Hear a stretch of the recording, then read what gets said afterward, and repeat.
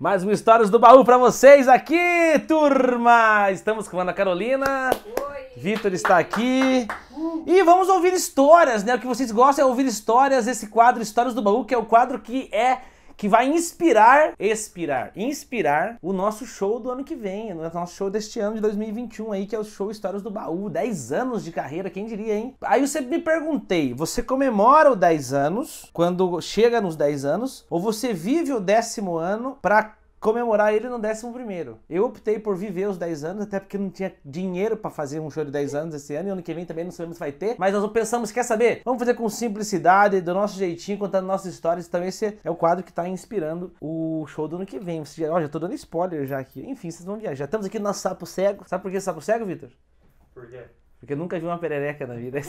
Eu tinha que ter esse bonequinho aqui, mano. Esse piercing era meu mesmo quando era piazote. Quadrinhos, ó, quadrinhos. Piercing ali, ó. Aham. Tinha piercing. Quadrinhos da Ana Carolina, ó. Grande pintora, compositora. E vamos para as histórias, né? Que é que o pessoal quer ouvir? Atenção, atenção, atenção. Tcharararã. Vitor. Tá lotado aí, cara. Tá lotadaço. Vamos ver que BO que temos aí, cara. Pra se ajeitar. Dependendo, vai ter que. Ele faz suspense. Me fingi de surdo. Puta Ah, merda. Ia ser engraçado, amor. Você sabe o que, que foi isso? Isso é uma nostalgia tremenda. Sabe por que, que é uma nostalgia? De surdo mudo, né? É surdo mudo que fala? É surdo, não, não é surdo mudo. É surdo. E o pessoal sempre dá, chama atenção, né? Porque não existe surdo mudo, é surdo.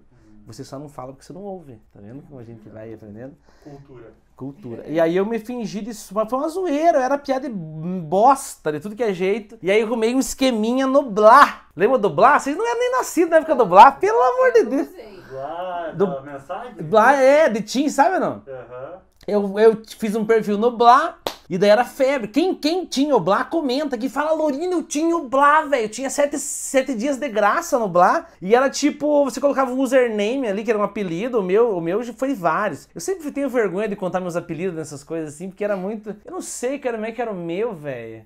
Nunca foi Bila, era Anj- Anjinho Rebelde, sabe? Umas coisas assim, sabe? sabe? No MSN eu era muito trouxa. Eu colocava os morceguinhos, colocava as, tudo, tudo, tudo, tudo. E aí no Blá eu tinha esse perfil que era Anjinho Rebelde. Acho que era coisa assim. E era por mensagem que conversava? Mensagem de texto. Não tinha uma foto. Eu acho que não, não tinha foto, não tinha nada. Eu acho que você tinha que passar o e-mail pra pessoa, pra pessoa te mandar uma foto, pra você baixar a foto. Caraca, um trampo, Não, era só tipo assim, na, na ideia. Era tipo na ideia. Você tinha que dar uma ideia, pá, e menina gostar de você, beleza. E daí tinha, eu sei que tinha idade, era coisa assim, tinha idade, essas coisas. E, e era, era eu, Rafael e Bolinha, justamente. A gente via, era viciado, cara. Meus amigos Rafael e Bolinha estão assistindo esse vídeo hoje, viciado no tal do Blá. Arrumava, arrumava altos esqueminha no Blá. Só que nunca conhecia as meninas, nunca via quem eram as meninas. Nunca, era difícil, cara. Raramente assim você conhecia, você batia um papo. E aí uma vez surgiu uma moça. Surgiu uma moça que não era do meu, do, do digamos assim, putz, cara, ela, ela, ela é bem desprovida, assim. Como assim, de beleza?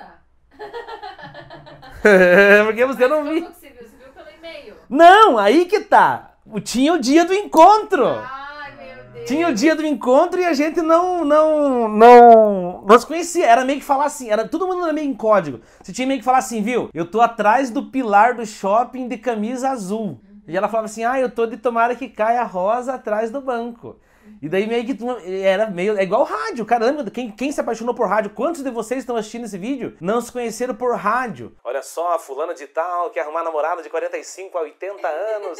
e daí você vai se, se ajeitar com a pessoa, filho. Você tem que dar uma sondada. Porque infelizmente a pessoa ainda julga pela beleza. Tá, Hoje tem o Tinder, mas o Tinder ainda engana. Se ela tá uma foto da Isis Valverde, você fala, não, peraí, filho, não tem nada a ver. E aí, hoje, mas ainda hoje você consegue, né? A pessoa manda assim, meio de cima pra baixo, de baixo pra cima.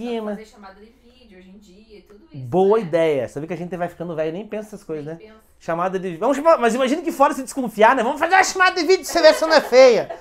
tinha, que, tinha que ser assim, né? É. Que você vê, se apaixonem pelo interior das pessoas. O que aconteceu? Eu marquei o dia do encontro. Foram dois, duas vezes, cara. Foram duas. Eu, eu acho que. Não, foram, foram duas situações, mas essa que foi a que me fingi, me fingi de surdo. Porque eu fiquei de fato sem palavras quando eu a vi. E aí, Essa não deu tempo de investigar primeiro antes de, de falar que tava lá. Cara, deu. Mas aí que tá. Ela, ela já sabia que eu tava lá. Ela já sabia. eu, tipo, eu eu não, não tive tipo assim, ah, não sei se eu vou. Tava marcado. Tipo assim, eu falei, tô no shopping. Ela falou, tô no shopping. Ah, e daí eu, eu a vi. Olha pra você ver, olha, isso foi uma mensagem pra vocês. Não façam isso na vida de vocês. E quando eu a vi, eu falei, cara, mas não é assim também, desse jeito tão fácil, que você tem que ceder. Falei, mas como é que eu vou chegar pra menina? Porque a gente tava, a gente era apaixonado. Você tem noção no, no, no, no, no Meu Deus, como, tipo assim, eu quero muito te conhecer, porque o papo da pessoa. Já notou que os feios têm um papo bom? Pode notar que o caboclo, quanto mais feia a menina, quanto mais feia. Agora se sabe já. Mais papo bom. Hoje em dia não existe pessoa feia mais. Sabia que antigamente existia mais feios assim, feios. Não de, porque, por que não existe mais pessoa feia? Porque a pessoa hoje se cuida. Os feios antigamente eram os descuidados. O povo era descuidado. Mas hoje você vê que o feio, ele, putz, der um negocinho assim, pá, ele se ajeita. Eu sou um feio ajeitadinho. Você entende? É só a gente se cuidar. Vai ver que de certo, se ela me visse antes também, ela talvez, enfim. E aí estávamos eu e Rafael Cailô nesse dia. E o Rafael foi se encontrar com uma, com uma outra e eu ia me encontrar com essa uma. Chegamos no shopping, Paládio. Ponta Grossa, numa tarde de sábado, bem típica de adolescente namorar, sabe? Tardezinha de sábado. E eu falei pra ela, eu tô aqui. E ela falou, eu também, tô te esperando. e eu falei, não, eu tô de camiseta tal. E ela, ah, eu tô com, com uma camiseta de ver, verde. Eu falei, tá bom. E tá eu e minha amiga é tal. E daí o Rafael falou assim, não, tá, tá, Tá as duas ali. Eu olhei bem assim. Eu tava vendo elas, mas acho que elas não estavam vendo. Acho que elas estavam no sofá e nós estávamos no pilar, tá ligado? Nós estávamos na coluna, assim, meio que investigando, sabe? Só faltava fazer assim, ó. E ela sentada no sofá esperando os gatinhos.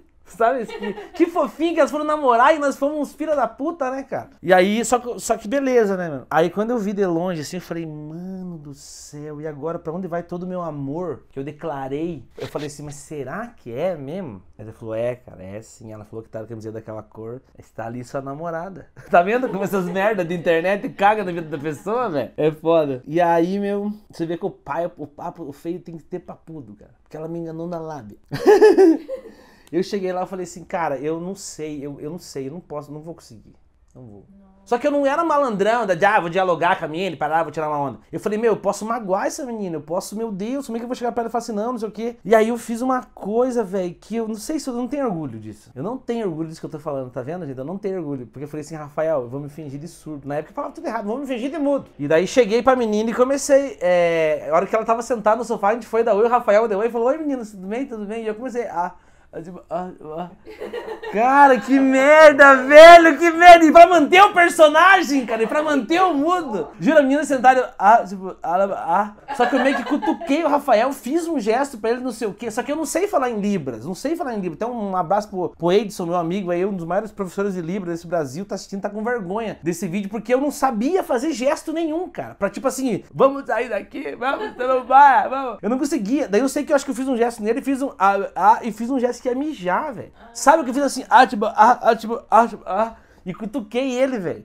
E saí, dei um oi pras meninas, foi muito vexame, velho. Foi muito mexer. Se essa menina estiver vendo essa mensagem hoje, ela deve estar tá... E a reação dela, qual que foi? Idiota, completamente um idiota eu. Mas ela era muito feia mesmo pra você não querer falar nada com ela? Cara, ela era, ela era bem estranha, velho. Os caras que namoram mulher feia sabem o que eu tô falando. Não, não, é porque assim, por isso que eu falo, não façam isso. Aquilo foi um julgamento de adolescente, tá ligado? Eu cheguei lá, pô, não sei o que, não. Não é isso que é o importante. O importante é você ficar, você gostar da pessoa e etc. Mas aquilo lá era um encontro de adolescente. Era coisa, poxa, tinha essa, essa, essa, essa magia, sabe, de você ficar com a menina bonitinha, não sei o quê. E eu ali foi um impacto. Eu criei muita expectativa na minha cabeça. Eu criei muita expectativa por causa que ela, ela é tão boa de papo, tá ligado? Que dava a impressão que ela era a Isis Valverde, entendeu? E daí, e daí. É porque às vezes a pessoa não mente. Às vezes a pessoa fala assim, ah, porque eu sou loiro dos olhos azuis. E realmente às vezes é. né? Cabelo loiro e olho azul tem tudo que é, que é tipo de gente. Ah, eu sou morena dos morena dos cabelos cacheados, às vezes é, mas às vezes, entendeu? É, e aí eu peguei e fiz isso, cara. E, ah, ah, ah, ah, e saí. E daí saí e fiquei com uma, uma vergonha assim do, da minha atitude. Hoje, como eu estou sentindo hoje, o Rafael depois falou, mano, o que, que você fez? Eu falei, não, mano, não sei, cara. Fiquei, fui com uma alta expectativa e não era que eu achava e quis fazer piada na hora ali. E o e Rafael eu... ficou com as meninas. O Rafael veio logo atrás. Rafael, eu falei, Rafael, o que, que você falou pra elas? Eu falei assim, eu não sei, eu acho que ele quer mijar. e ó, foi pro banheiro e nunca mais voltou.